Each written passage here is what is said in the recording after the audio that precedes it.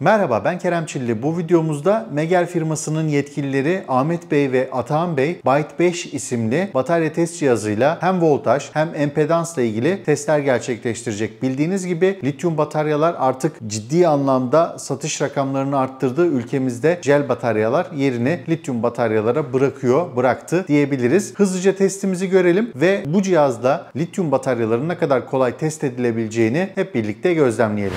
This is the Byte 5. It is our latest um, battery impedance tester, uh, and it is uh, lightweight uh, with long battery life to help us test multiple batteries or lots of uh, battery banks to check their health. And it's a very quick way of checking the health of a battery. There's two main tests that need to be done. You measure the voltage and the current of what the battery is at, the, at that moment, and then you measure the battery impedance, which is the internal resistance within the battery between the terminals. As the battery ages, its internal impedance keeps rising and rising, and at some point it'll be too high, and that's that's when you know this battery needs to be either refurbished or replaced. So I'll do some tests today. First, we'll start with the voltage measurement. So I have the voltage probes, and you can see at the top here the voltage um, red to red, black to black. And then I'll just uh, clip it onto the terminals. So I'll clip the red onto the red. And the black onto the black.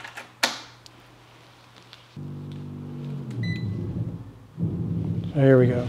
So this particular battery uh, is a lithium ion battery that's supposed to be uh, around 51.6 volts, but it's been charged quite well, so it actually has 52 volts uh, between the terminals at the moment. And there's very little voltage ripple, so there's no, it's a very steady uh, DC voltage within it. So voltage wise, it's, it's a very strong battery. Now I'll switch over to doing an impedance measurement. So I'll take off the voltage probes. And then I'll add the uh, special impedance probes. So now I'm in the ohms mode. And it's making its measurement. We're seeing around uh, 35 milliohms. And normally see uh, a red light underneath if, it, if the resistance is too high, but this resistance is acceptable for this kind of battery. So it's still in good health. Simple.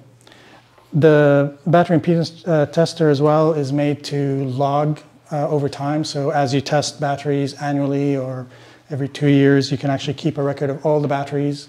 And in the trend mode, you can actually see the same battery over the years, how it's been trending, how the internal resistance has been changing.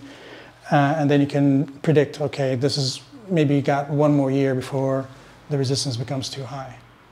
So it, it's, it's made for high volume work, uh, people who are looking after batteries in you know, ba battery, battery storage, energy storage, where you have multiple batteries all connected together. You can test them battery by battery, ba all, all, the banks. Or if it's a USP system, an uninterrupted power supply system that uses batteries, again, you'd use the BITE to uh, quickly check the health of all the batteries. Ahmet Bey ile birlikte batarya test işlemini gerçekleştirdik. Bu konunun ne kadar pratik ve hızlı bir şekilde yapılabileceğini ve doğru verileri elde edebileceğini sizler de şahit olduğunuz gördünüz. Umarım faydalı olmuştur. Bir sonraki videomuzda görüşmek üzere.